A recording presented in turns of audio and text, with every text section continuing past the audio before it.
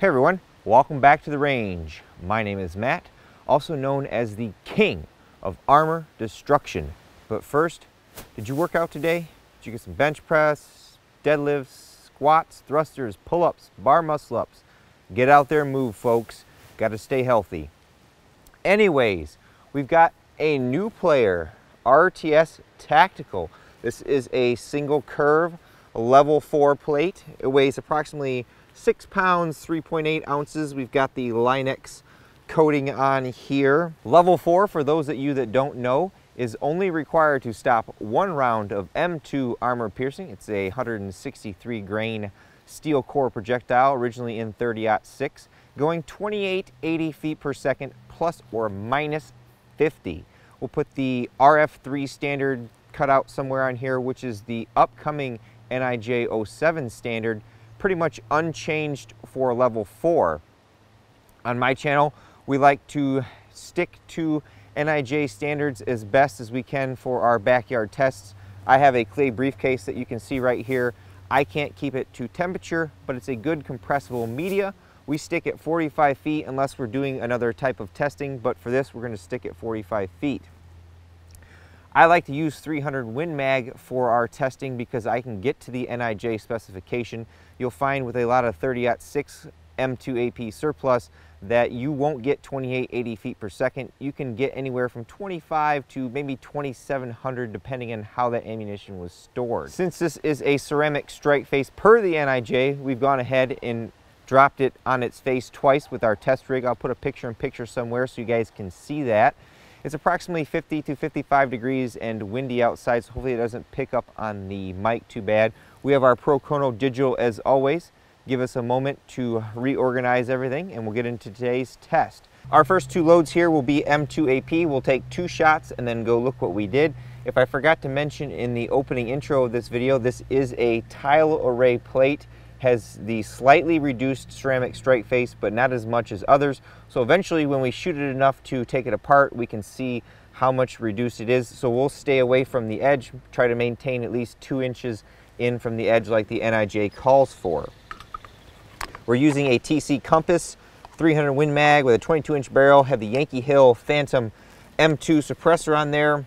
Since safety is a number one priority here, we took some extra ballistic steel and made some little shields here so that if we get any uh, ricochet or anything that comes back at us, hopefully that will stop it. Shouldn't be much of a concern for ceramic armor and polyethylene since it encapsulates a lot of the shrapnel, but when we're testing steel core stuff, you never know. We'll go for the upper left of the plate like we like to start on most of our tests. Velocity 29, 23. I forgot to turn the screen on for you guys. Hold on one second.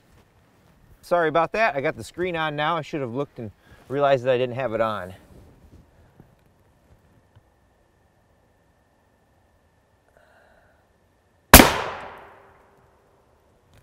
Velocity 3152. A little short there. Let's go see what we did. Here was our standard pressure M2 AP shot. Here was our plus P plus. You can tell that that plate is made from the alumina. It's the white ceramic there. And as mentioned, yes, there is reduced strike face. It's about a half inch of foam there. Not too bad. We've seen more from others. Let's see what we did. This is an import plate, but RTS Tactical has told me that they want to produce their own stateside. Hey! No pass-through. Impressive. Now, we did get a little more back face on the plus P plus loading, but we've seen worse from some other plates, so they must be using probably a higher quality polyethylene on there. Not too bad. Now, this clay is colder than normal, so you're gonna see less back face on here. I'm just using it as a compressible media. Now we'll go to another AP threat. This is M993AP 762 NATO. This is the military's current armor piercing round in 762 NATO that I'm aware of. They probably have some newer technology that they may be fielding, but this is what I got my hands on. It's a 130 grain tungsten core projectile. I'll put a picture in picture so you can see what that core looks like. We're using our 22 inch TC compass. I have one in 308. We've got the Yankee Hill suppressor on there. We'll take this shot on the left below the original M2AP load. We should see slightly over 3,000 feet per second. I see I didn't turn on the monitor.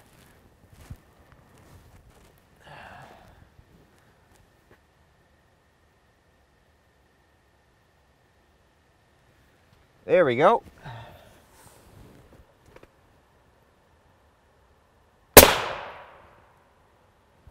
Velocity 2976.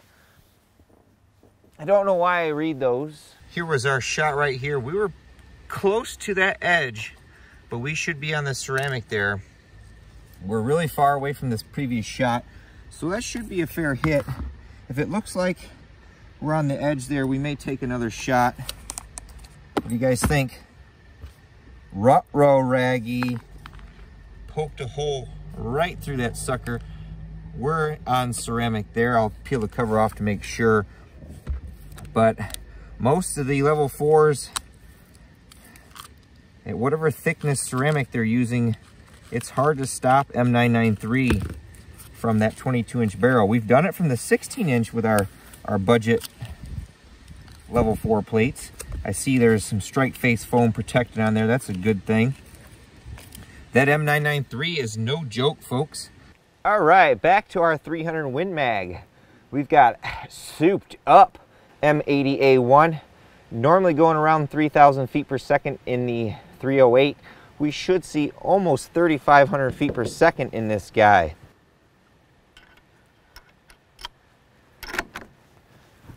We're gonna go for the right side of the plate this time.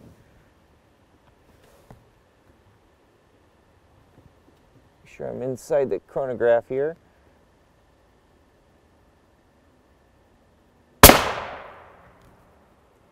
Look at that velocity. Oh yeah, brother.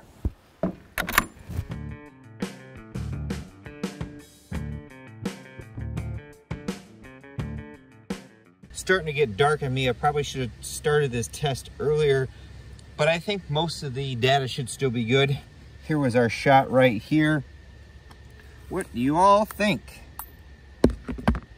It's pretty fast for a projectile. I've seen faster, but it is a little cold outside today. Hey! No pass-through.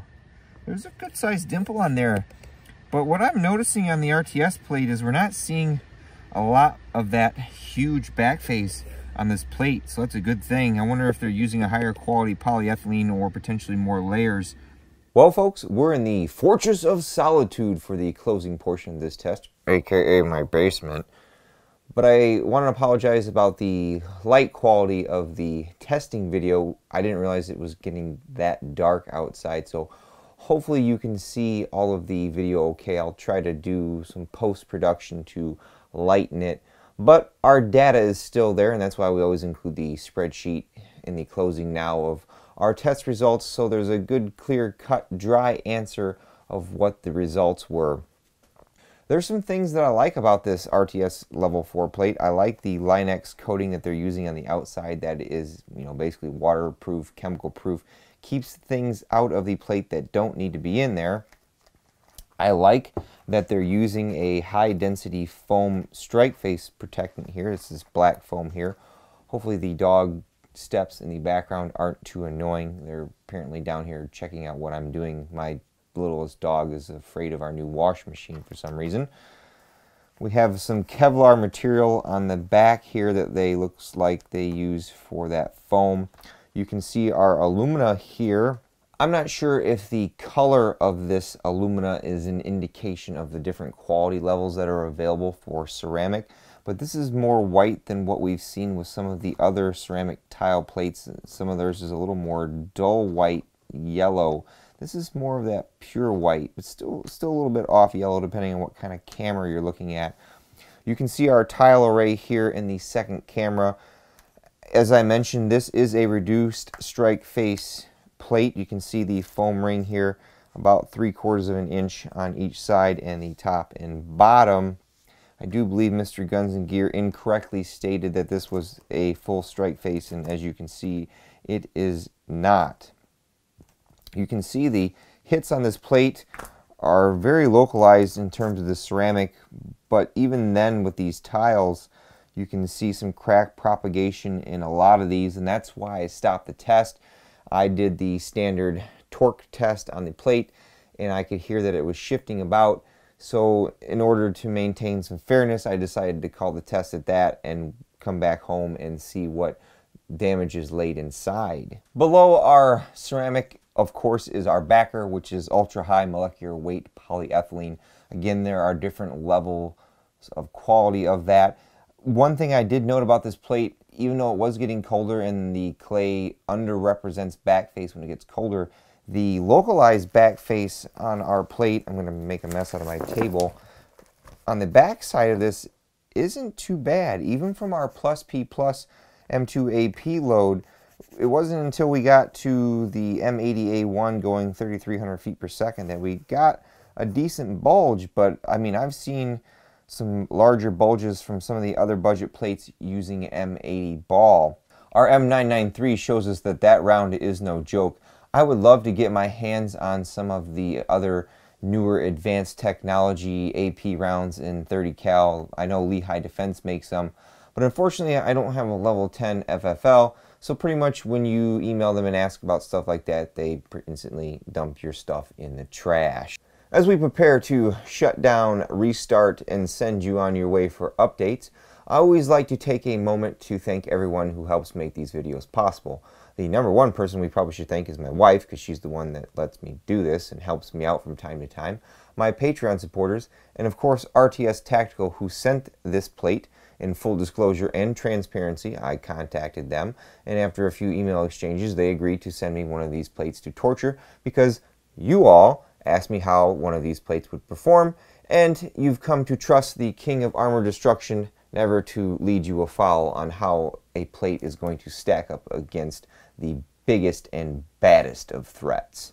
So until next time, folks, make sure you're exercising and eating right and getting plenty of that protein to grow those muscles. Until next time, I'll catch you at the range.